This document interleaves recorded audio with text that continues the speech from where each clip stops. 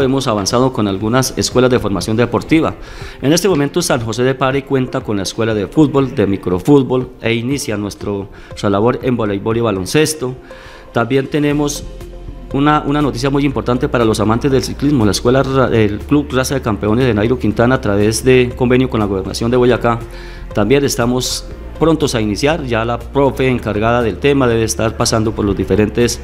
eh, escenarios eh, escolares para escoger las personas que quieran participar en ese gran evento. De igual manera, continúa nuestra escuela de música que, nos ha dado los resultados muy importantes y iniciamos con nuestra escuela de danzas también acá en el municipio de San José de Pare. Acá hay proyección no solamente para niños en edad escolar, sino también las personas adultas que quieran participar en, en, las escuelas de formación deportiva o sobre todo en danzas, son muy bienvenidos. Acá el deporte y la cultura es para todos los pareños y estamos haciendo esa cordial invitación a que dejen sus niños, están en manos muy responsables para que continúen participando en las diferentes escuelas de formación deportivas, al igual que música y danzas en el municipio.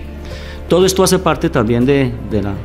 no, solamente dice a veces uno, a un alcalde no lo pueden evaluar por las obras que hagan, sin embargo, gracias a Dios estamos bien y vamos bien, pero los niños son parte importantísima, que los niños tengan algo que hacer, no solamente de pronto estar mirando televisión o, o,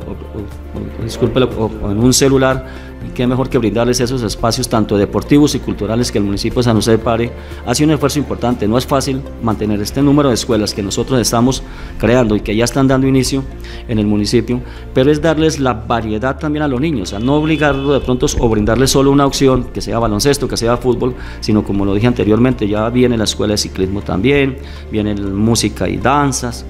y las otras que hemos nombrado y que están en funcionamiento. Queremos también algo muy importante es que ya es un compromiso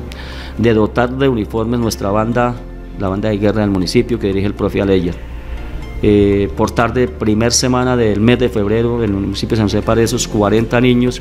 deben estar muy bien uniformados porque hicimos el año pasado un esfuerzo de dotarlos en cuanto a